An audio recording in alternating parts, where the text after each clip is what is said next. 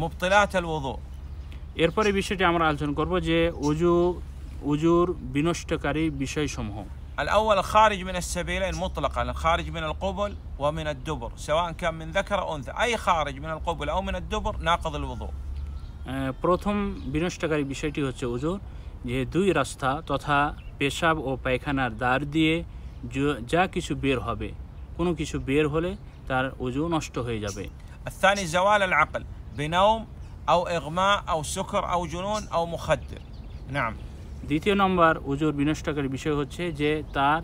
জ্ঞান হারিয়ে যাওয়া সেটি যে কারণে হতে পারে আহ, সেটি তার আহ,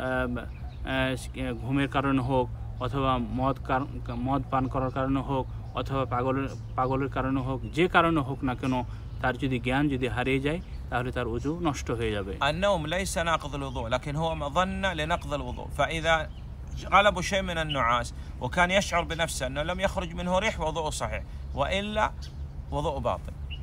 নোয়াস نعم نعاس غلبه شيء من النعاس যদি ويشعر بنفسه نعم আহ, তার আহ, যেটা আহ, উম, ঘুমের আগে যে অবস্থা হয় ঢোলন অবস্থা যেটা আমরা বলি তন্দ্রা এ তন্দ্রা কিন্তু আহ, উজু নষ্ট নষ্ট, নষ্টের অন্তর্ভুক্ত না, তথা তন্দ্রা উজুকে নষ্ট করে না। যদি কোনো ব্যক্তি নিশ্চিত হয় যে সেই তন্দ্রা অবস্থায় তার পিছন দিক থেকে কোনো কিছু বের হয়নি, তথা হাওয়া বের হয়নি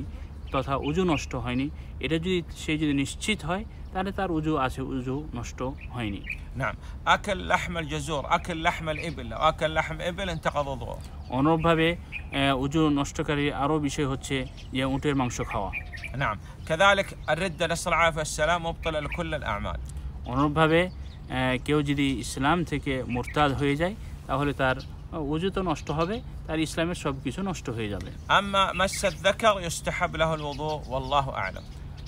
আর কেউ যদি তার লিঙ্গকে স্পর্শ করে তাহলে